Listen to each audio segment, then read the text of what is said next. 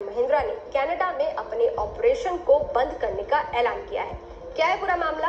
आपको इस वीडियो में समझाते हैं। नमस्ते, मैं हूँ अदिति शाह और आप अपनी company Resson Aerospace Corporation Canada को वॉलेंट्री बेसिस पर बंद करने का फैसला किया है। रेसन एरोस्पेस कॉरपोरेशन में महिंद्रा एंड महिंद्रा की ग्यारह दशमलव एक आठ फ़ीसदी हिस्सेदारी थी।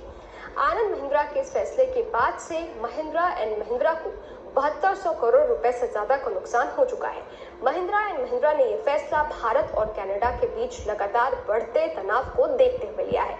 महिंद्रा एंड महिंद्रा ने रेगुलेटरी फाइलिंग में स्टॉक एक्सचेंज को इन्फॉर्म किया कि Resson Aerospace Corporation Canada Corporation Canada में सर्टिफिकेट ऑफ़ डिसोल्यूशन 20 सितंबर 2023 को मिल गया है, जिसकी कंपनी को जानकारी दी गई है। महिंद्रा ने बताया है कि इसी के साथ रेसन कॉरपोरेशन बंद हो गया है और इंडियन अकाउंटिंग स्टैंडर्ड्स के तहत 20 सितंबर 2023 से उसका कोई लेना देना नहीं है।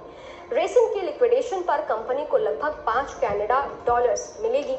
मतलब कि भारतीय करेंसी में लगभग 28 करोड़ सात लाख रुपए बनता है।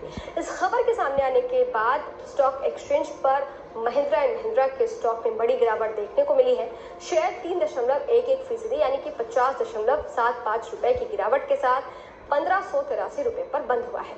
महिंद्रा एंड महिंद्रा के इस फैसले से कनाडा को बड़ा झटका लगा है। लेकिन आपको बता दें कि कनाडा पेंशन फंड ने कई भारतीय कंपनियों में मोटा इन्वेस्ट किया हुआ है।